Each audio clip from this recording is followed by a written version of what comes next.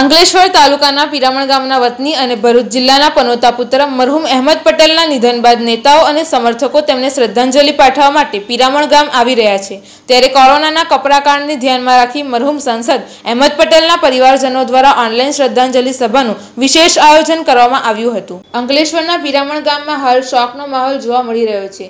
ભરૂચ જિલ્લાના પનોતા પુત્ર અને પિરામણ ગામના વતની અહેમદ પટેલ આપણી વચ્ચે રહ્યા નથી, પણ તેમણે કરેલા કાર્યોની સુવાસ ચારે તરફ ફેલાઈ રહી છે.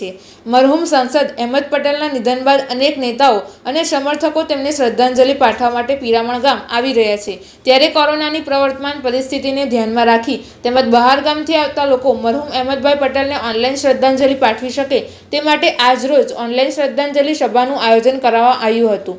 ઓનલાઈન શ્રદ્ધાંજલિ સભામાં મરહુમ સાંસદ અહેમદ પટેલના પુત્ર ફૈઝલ પટેલ, પુત્રી મુમતાઝ પટેલ તથા પરિવારજનો ઉપસ્થિત રહ્યા હતા. અને રાજ્ય તેમજ દેશના અનેક પ્રદેશોમાંથી નેતાઓ તેમજ સમર્થકોએ ઓનલાઈન શ્રદ્ધાંજલિ પાઠવી હતી. જ્યારે કેટલાક અગ્રણી નેતાઓ તેમજ સમર્થકો પિરામણ ગામ ખાતે આવી મરહુમ અહેમદ પટેલને શ્રદ્ધાંજલિ પાઠવી હતી.